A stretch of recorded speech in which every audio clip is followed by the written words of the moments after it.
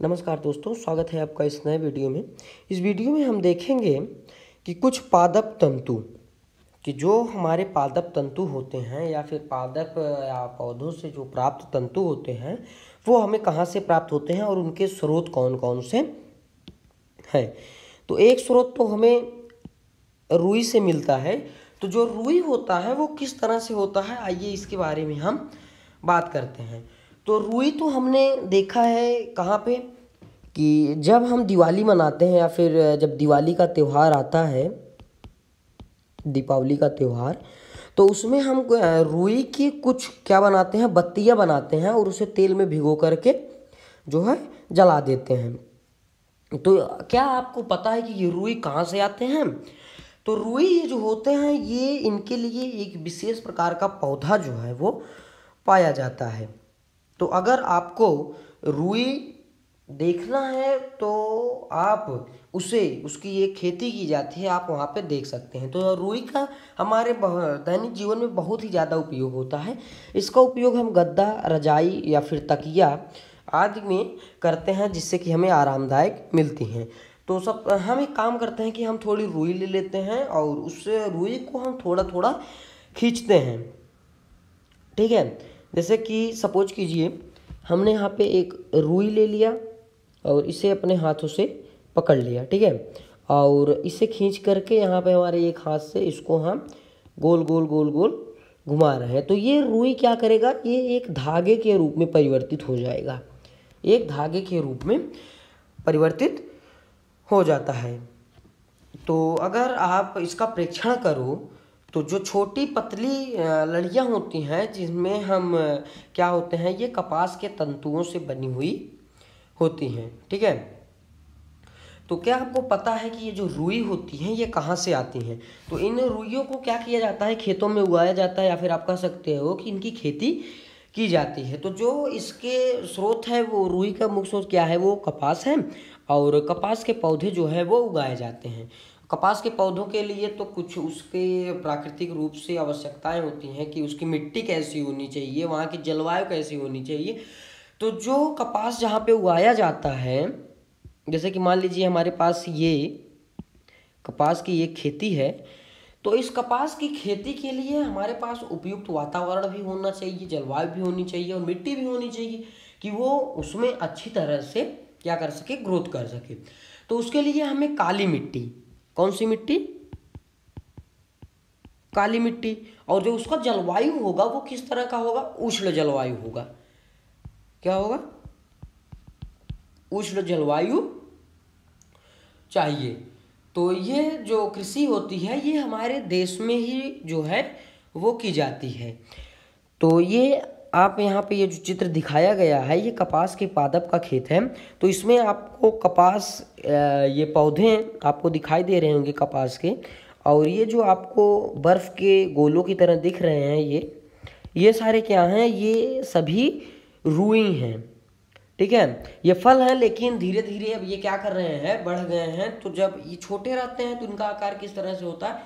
नींबू की तरह होता है, जिसे हम कपास गोलक कहते हैं, जो ये मान लीजिए कि अभी ये अच्छी तरह से बने नहीं हैं तो ये मान लीजिए कि पौधा है, ठीक है? और ये यहाँ पे इसका फल है। तो अभी ये क्या किया है कि इस तरह के रूप में नहीं आया है। तो ये एक अभी गोल सा है, कच्चा ही है। तो इसे हम क्या बोलेंगे? कपास गोल क्योंकि ये कपास के वृक्ष में उगा है या कपास के पौधे में उगा तो कपास गोलक होगा। तो इसका आकार क्या होगा? वो नींबू की तरह होगा। किसकी तरह? नींबू की तरह होगा, ठीक है? तो फिर इसके बाद जब ये परिपक्व हो जाते हैं, परिपक्व होने का मतलब कि जब ये अच्छे से पक जाते हैं तो क्या करते हैं, ये जो नींबू की तरह इसके कपास गोलक हैं, ये फूट जाते हैं। तो जब ये फूट जाते हैं तो इसके बीज जो हैं, वो टूट करके खुल जाएँगे। जो कपास तंतु हैं, वो क्या करेंगे, बाहर आ जाएँगे। और आप कपास तंतु के बीज को भी देख सकते हो कि कपास का जो तंतु होता है, उसके अंदर के बीज जो है, वो किस तरह से पाए जाते हैं। तो ये जो कपास है, इसका अत्यधिक उपयोग जो है हम दिवाली में करते हैं और सूती वस्त्रों को बनाने में करते हैं। तो इस तरह से इसका उपयोग किया जाता है। और दूसरा, अगर आप, जैसे कि मानिए, जो हमारे पास कपास बॉल है, मान लीजिए कि हमने इसको चुन लिया है तो ये कुछ हमें इस प्रकार के छोटे छोटे गोले के रूप में मिलेंगे, ठीक है? तो इन्हें हम क्या करेंगे? हाथों हाथों से यहाँ पे आप देख सकते हो कि ये जो आदमी है, इसे हाथों से क्या कर रहा है? अच्छे से बना रहा है। तो जो कपास होता है, कपास के अंदर तो बीज हो गया। फिर मतलब मान लीजिए कि आप कोई भी फल ले लेते हो तो उस फल के अंदर उस फल का बीज रहेगा। तो हमने जो कपास यहाँ पे, कपास के बीच से जो रुई निकाला है तो उससे जो हम बीज को अलग करते हैं। तो कपास से बीज को अलग करने की प्रक्रिया को हम क्या कहते हैं? कपास ओटना कहते हैं। ठीक है? जैसा कि आपको यहाँ चित्र में दिखाया गया है कि ये जो आदमी है, कपास जो है, इससे बीज को ये अलग कर रहा है। अब हम बात करते हैं जूट और पटसन, जिसे जूट या पटसन कहते हैं। तो जो जूट होता है, ये भी एक प्रकार का कपास की तरह पौधा होता है। तो सबसे पहले हम क्या करते हैं, इस, इसे खेती करते हैं। तो जब इसके पौधे उग जाते हैं तो उसके जो तने होते हैं छोटे छोटे रहेंगे, तभी हम इसको काट लेंगे। ठीक है, हमारे काम लायक होंगे। तो भारत में जो इसकी ज़्यादा खेती की जाती है, वो वर्षा ऋतु में ही की जाती है। ये आपको पटसन का पादप दिख रहा है तो इसकी जो खेती होगी, वो वर्षा के समय ही होती है। तो वर्षा के समय में इसे क्या करेंगे कि हम इसके जो यहाँ पे ये आपको तना दिख रहा है, ये तना है, ठीक है? इसको हम पानी में क्या करेंगे? भिगो देंगे। काटेंगे इसकी पत्तियों और फूलों, फलों आदि को अलग कर लेंगे और इसका जो ये शेष भाग तना बच जाएगा। इसे हम क्या करेंगे? पानी में दो तीन से, दो से तीन दिन तक जो है डुबोकर रख देंगे।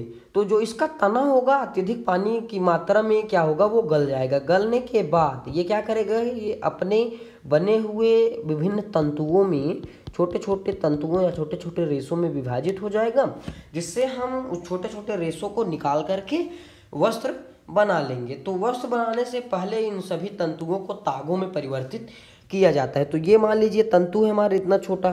तो जब ये कई सारी तंतुओं को मिलाएँगे तो हमें क्या प्राप्त होगा?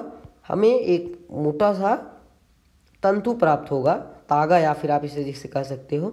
और इसी तागे से हम क्या करेंगे? अपने वस्त्रों का निर्माण करेंगे। तो यहाँ पे हमने देखा कि जो पादप तंतु होते हैं मुख्य रूप से जूट, पटसन और रुई होते हैं। तो इस तरह से हमारा जो ये वीडियो है, पादप तंतु, ये समाप्त होता है।